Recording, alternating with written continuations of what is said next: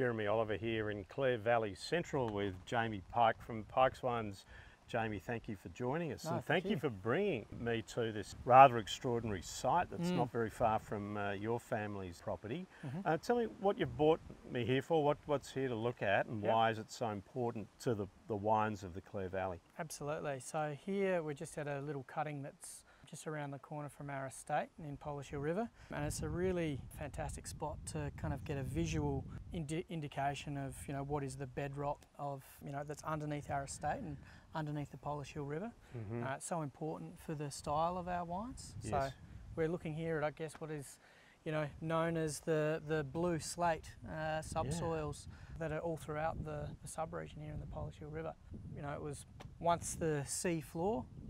650 million years ago. And you're saying before that was before life. That's right. Yeah. So we, we don't see any fossils in the in the subsoils here. It's all pre-life and uh, mineral rich Yeah. because it was the sea floor. Yeah, it's uh, fairly lean soils. There's not much organic Yeah. material in it. Take me through this. You were showing me before. It's Yep. really quite pliable. It is, and- so- and- This, I guess, if you're being 100% um, accurate geo- geologically, it's actually the stage of, uh, of rock that precedes it being slate. Mhm. So it's not quite compressed enough, Mhm. but it, it's still been formed from the same era. And then if you take a look over this side, you can actually Yeah. see some of the more compressed soils, which are, which is slate.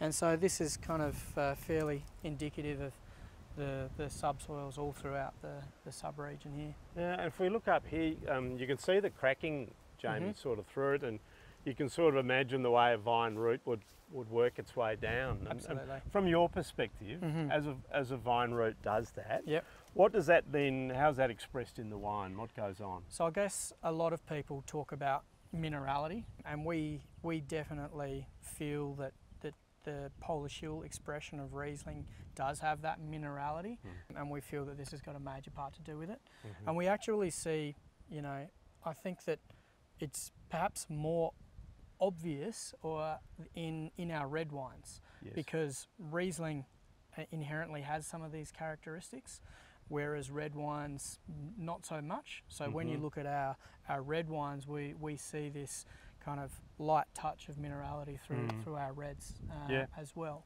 Wow. So So there you go. There you have it. You're looking at rocks more than um, 600 million years old, and you're seeing how the nature of those rocks can contribute to the taste and texture in Pike's wine and other ones from the Polish Hill River, part of the Clare Valley. beautiful. Over and out. We'll be back with more at Oliver's Wines.